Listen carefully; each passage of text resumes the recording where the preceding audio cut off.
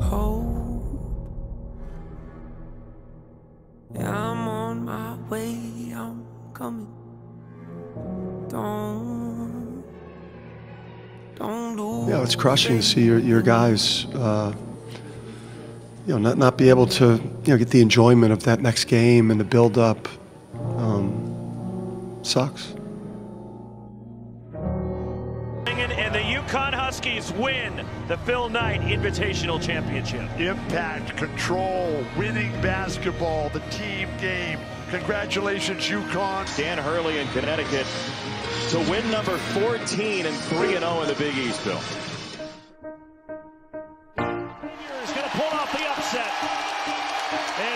Connecticut their first loss of the season. Put this one in the win column for the Providence Friars as they knock off the number four team in the country. Yeah, St. John's first road win in the conference. Well, he missed it. Watch out. It's over. And here we go. Intercepted. Sanogo chops it away.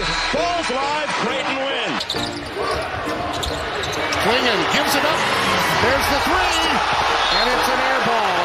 82 to 79. And Xavier gets the hard earned season sweep against Connecticut. Just being able to play in March Madness, the Elite Eight games, man, it's something you dream of. And I just had to flex UConn. Like this, uh, UConn's back. Hope. What's my definition of success? Listening to what your heart says. Standing up for what you know is. Everybody else says. right there, and that is better offense. Connecticut Huskies dancing in Las Vegas. Creating something no one else Helps a lot of points. to dream big. That's going to be a system. Living more when you got nothing left. Jackson cutting it with Kildan the other way. Jackson will drive off that baseline up and in. Going quickly on the side with a three-point shot here, Warren. It's good. And Dan Hurley is taking his UConn team to the Final Four.